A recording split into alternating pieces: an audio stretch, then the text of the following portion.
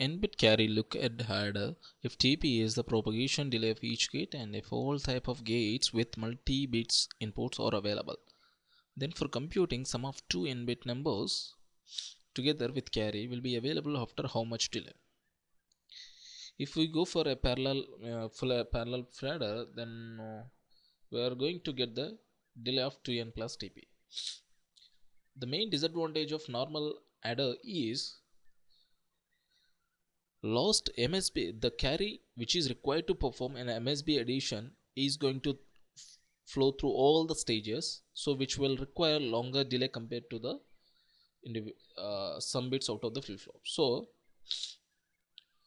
normal carry look ahead adder what it will do is it will generate all the carries initially.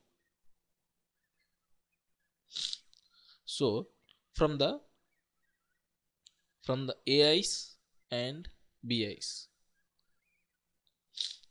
So after generating all carries it is going to perform the addition at a time. Means it is going to calculate from the A's and B's itself which are available initially. So it will reduce drastically the delay.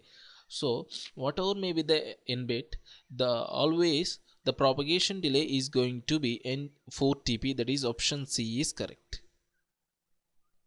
a sequence detector accepts a string of 0 or 1 and outputs 0 or 1 depending on whether a particular pattern is detected or not. In matching a particular pattern, overlap may or may not be allowed. Suppose the input pattern is given as this one. And the target pattern is 1011.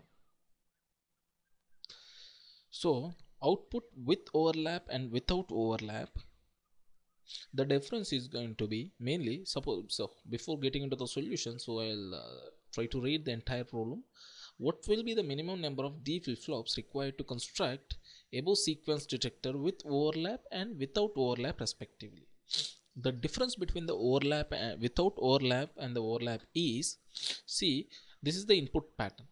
Here 1 0 1 1 0 1 1 0 1 1 with overlap the sequence the outputs are going to be this one. 1011 1011 1011 the three times pattern detected in the given input sequence. Whereas with overlap with this is with overlap.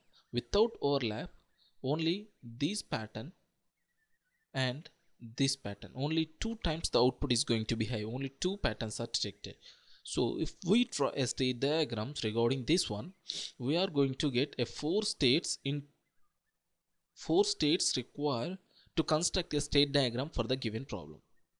So the state diagrams looks like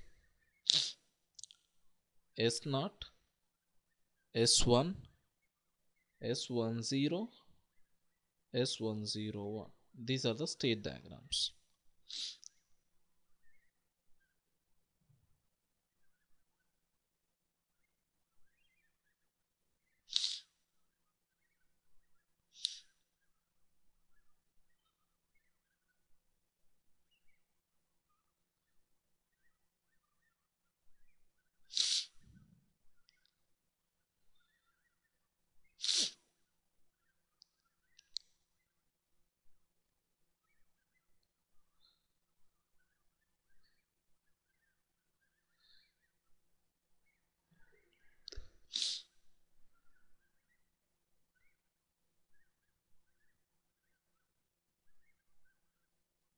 This is the state diagram for the case with overlap. Similarly, if we draw the state diagram without overlap, we will get option as A. Because there are four states we can uh, represent it with the two flip-flops. Because with the two flip-flops we are going to get a four possible combinations which can represent the individual states.